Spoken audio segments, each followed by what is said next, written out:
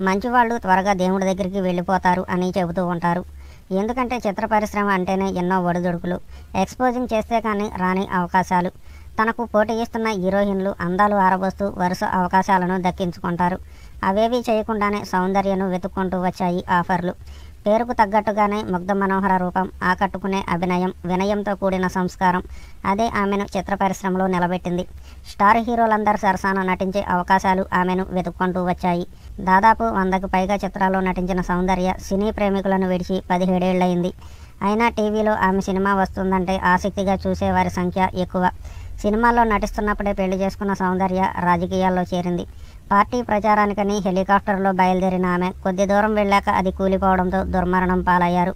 అప్పటికి ఆమె రెండు నెలల గర్భవతి కూడా. సినిమాల్లోకి రాకముందు సౌందర్య పేరు సౌమ్య. అయితే తానే సౌందర్య అని మార్చుకుంది. చిత్రసీమలోకి అడుగుపెట్టే ముందు బాలీవుడ్ అగ్ర హీరో అమితాబ్తో కలిసి సూర్యవంశ్ చిత్రంలో నటించి మొదటి చిత్రంతోనే బాలీవుడ్లో మంచి మార్కులు కొట్టేసింది. దర్శకత్వం చేయాలని సౌందర్యకు కోరిక ఉండేది. కానీ అది తీరకుండానే ఆమె జీవితం ముగిసిపోయింది. కానీ ఆమె నిర్మాతగా వ్యవహరించిన ద్వీపా చిత్రానికి జాతీయ అవార్డుతో పాటు పలు అవార్డులు దక్కాయి. తనువు సాధించే నాటికి సౌందర్య వయసు ముప్పై ఒకటి సంవత్సరాలు మాత్రమే.